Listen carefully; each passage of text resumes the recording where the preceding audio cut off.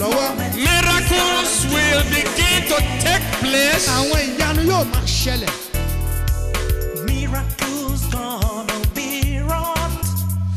Everything's gonna Let us bring out our Bible.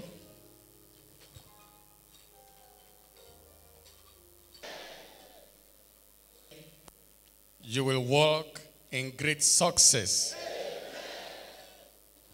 I prophesy harvest in hundredfold will be your portion. With your amen, you will break forth to the east, you will break forth to the west in the name of Jesus. The door opportunity that have been set before you, as you open wide your mouth to say amen, that's how wide the door will open. As you stretch out your hand to reach it, your hand will reach it. In the name of Jesus. In the name of Jesus every near success syndrome, they are smashed. They will not follow you. In the name of Jesus. In this month of February, the setbacks in your life, you will double overtake. In the name of Jesus. Where you have been dishonored, you will have double honor. Where you have been shamed, you will have double honor. In the name of Jesus, there will be restoration in your business, restoration in your finances, restoration in your family. In the name of Jesus, you can begin to thank the Lord because God is faithful. The Bible says Abraham give he gave glory to God before he saw the promises of God fulfilled.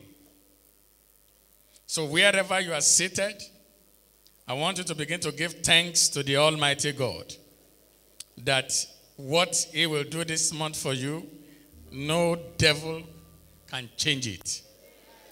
In the name of Jesus. Praise the Lord.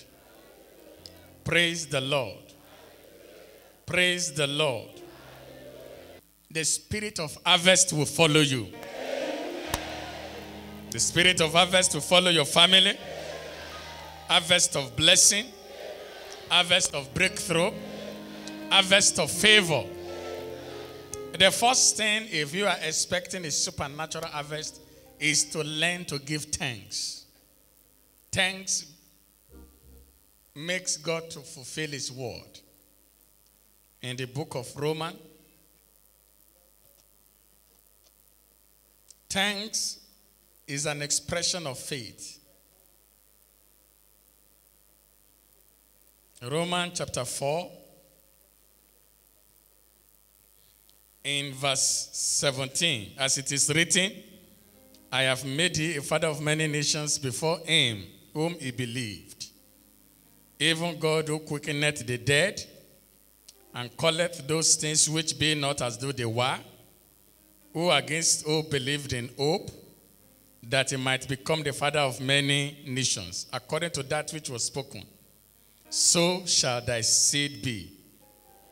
In verse 19, and being not weak in faith, he considered not his own body now dead when he was about an hundred years old.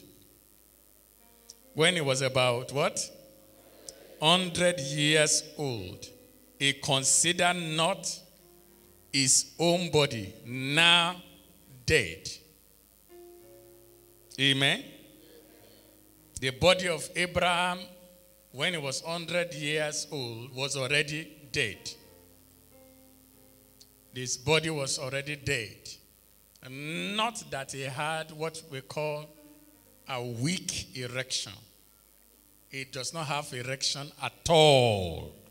His body was already dead. He's no more capable of being a father. He's no more capable of being a man. He did not consider his own body now dead. When he was about an hundred years old, neither the deadness of Sarah's womb, neither the deadness of Sarah's womb, he staggered not at the promise of God through unbelief, but was strong in faith, giving glory to God. He- when you give glory to God, it makes you to be strong in faith. You begin to thank the Lord because God is good. You thank Him because He is faithful. In verse 20, it says, He staggered not at the promises of God through unbelief, but was strong in faith, giving glory to God, being fully persuaded that what he had promised, he was able also to perform. I want to speak about doctrine of tithe. Can we say it with our mouth loud and clear? Louder. In the book of Genesis, chapter 4, in verse 3. And in process of time, it came to pass that Cain brought of the fruit of the ground an offering unto the Lord. And in verse 4, A- A- Genesis 4 4, and Abel he also brought of the firstlings. That's why we have what we call the first fruit, firstlings of his flock and of the fat thereof. And the Lord had respect unto Abel and to his offering. Amen. This is actually where the word tithe begins to have its root. The firstling or the first fruit. The first income, the first fruit. Maybe your first day income, maybe your first week income, maybe your first month income. It may depend on how big your faith is. What you say, come to your aunt for the first time in the year is your first fruit. When you bring your first fruit unto the Lord, He brings you into a covenant relationship with Him.